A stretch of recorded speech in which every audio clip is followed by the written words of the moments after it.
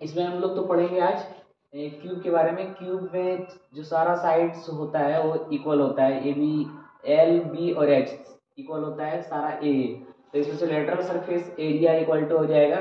Four a square total surface area equal to six a square और volume of cube equal to a cube इसमें lateral surface area को बोलते हैं, वक्र पृष्ठीय क्षेत्रफल फोर ए स्क्वायर ये संपूर्ण पृष्ठीय क्षेत्रफल सिक्स ए स्क्वायर और घनाभ का सॉरी घन का आयतन इक्वल टू साइड का cube side into side into side